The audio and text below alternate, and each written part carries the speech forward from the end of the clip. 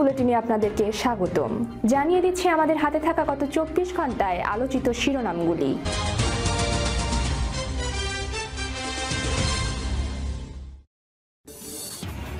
দয়ামায়া লেশমাত্র আওয়ামী লীগের বিধানে নেই, বলেছেন ফখরুল। বিএনপি মহাসচিব মির্জা ফখরুল ইসলাম আলমগীর বলেছেন, সুষ্ঠু নির্বাচন পরমত সহিষ্ণুতা বিবেক সহমর্মিতা ও দয়ামায়ার লেশমাত্র আওয়ামী লীগের বিধান নেই। দেশে যে খুন খারাপের মহোৎসব চলছে, তাতে রাষ্ট্র এক অমানবিক চেহারায় রূপ লাভ করেছে। সারা দেশে শীতার্থ কৃষকদের পাশে কৃষক লীগ। জাতির পিতা বঙ্গবন্ধু শেখ মুজিবুর রহমানের স্বদেশ প্রত্যাবর্তন দিবস উপলক্ষে সারা দেশে একযোগে কৃষকদের মাঝে শীত বস্ত্র বিতরণ করেছে কৃষক লীগ। সংগঠনের সভাপতি, কৃষিবিদ সমীর চন্দ্র সহ কেন্দ্রীয় নেতারা জানুয়ারি মাসের শুরু থেকে দেশের বিভিন্ন জেলা ঘুরে ঘুরে শীত বস্ত্র বিতরণ করেছেন। বাংলাদেশের পাসপোর্টে পঁচপান্ন হাজার রোহিঙ্গা সৌদিতে সৌদি আরবের রাষ্ট্রদূত ইসা বিন ইউসুফ আল দোহাইলান বলেছেন বাংলাদেশের পাসপোর্ট নিয়ে পঁচপান্ন হাজার রোহিঙ্গা সৌদি আরব গেছে। যেসব পাসপোর্টের মেয়াদ না থাকায় বা হারিয়ে যাওয়ায় তাদের তালিকাও বাংলাদেশকে দিয়েছে সৌদি সরকার। সরকারি চাকরির পরীক্ষায় প্রশ্নপত্র সহজ করার সুপারিশ। সমাজ কল্যাণ মন্ত্রণালয় ও এর অধীনস্থ বিভিন্ন দফতরের তৃতীয় ও চতুর্থ শ্রেণির নিয়োগে প্রশ্নপত্র সহজ করার সুপারিশ করেছে সংশ্লিষ্ট সংসদীয় স্থায়ী কমিটি। ভারত, চীন পারমাণবিক যুদ্ধ হলে ধ্বংস হবে গোটা পৃথিবী। ভারত ও চীনের মধ্যে যদি পারমাণবিক যুদ্ধ হয়, তবে তা এশিয়ার জন্য সবচেয়ে ধ্বংসাত্মক হতে পারে। এতে ইন্দো প্যাসিফিক অঞ্চল আন্দোলিত হবে। উভয় পক্ষে মারা যাবে হাজার হাজার মানুষ। ধ্বংস হতে পারে গোটা পৃথিবী। ক্ষমতা গ্রহণের দশ দিনেই ট্রাম্পের একাধিক সিদ্ধান্ত বাতিল করবেন বাইডেন। আর মাত্র কয়েকদিন অপেক্ষা। তারপরেই হোয়াইট হাউসের মসনদে বসবেন জো বাইডেন। এরই মধ্যে তিনি ক্ষমতার প্রথম দশ দিনের কর্মপরিকল্পনা প্রস্তুত করেছেন। জানা গেছে, প্রেসিডেন্টের চেয়ারে বসেই প্রথম দশ দিনে ট্রাম্পের নেওয়া বেশ কিছু সিদ্ধান্ত বাতিল করবেন বাইডেন। খবর ব্লুমবার্গের।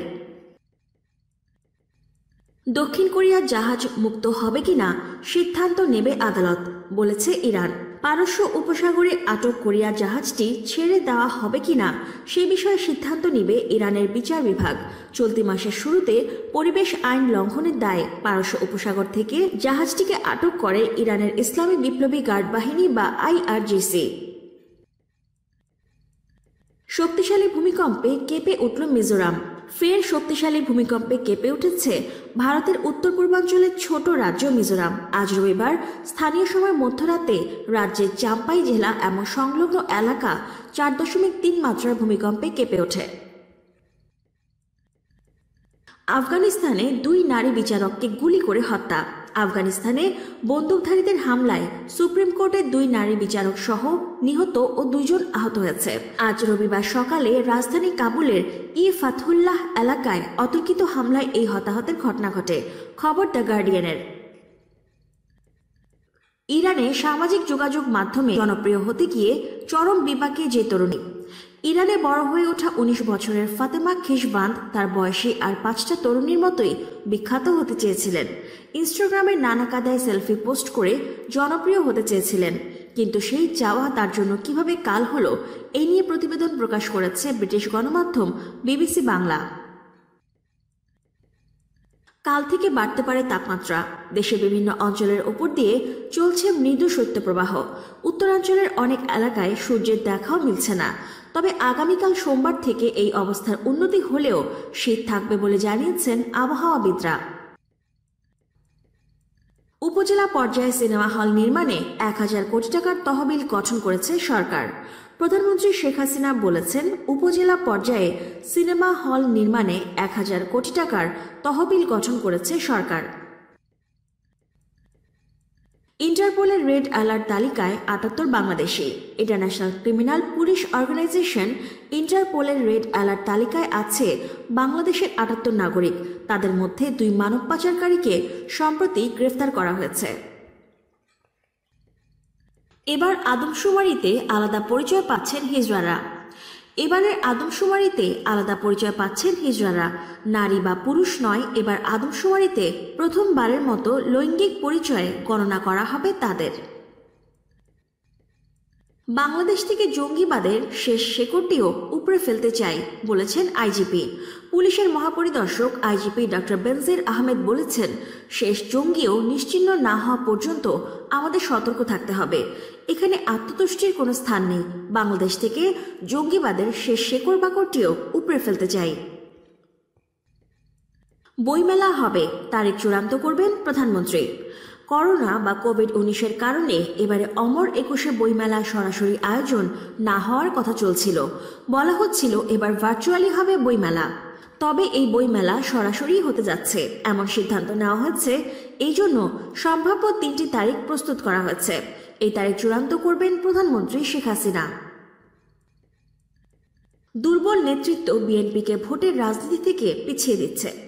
নেতৃত্বের দুর্বলতা আর অস্বচ্ছ রাজনীতি বিএনপিকে ভোটের রাজনীতি থেকে তিন দিন পিছিয়ে দিচ্ছে বলে মন্তব্য করেছেন আওয়ামী লীগের সাধারণ সম্পাদক ওবায়দুল কাদের।